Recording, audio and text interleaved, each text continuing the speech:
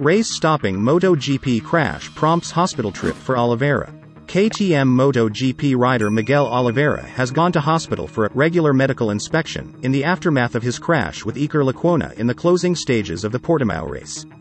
Tech 3 KTM rider Lecuona tucked the front when trying to overtake Oliveira down the inside of the turn 13 hairpin, and collected the home hero, Oliveira briefly getting trapped between the two bikes in the course of the accident.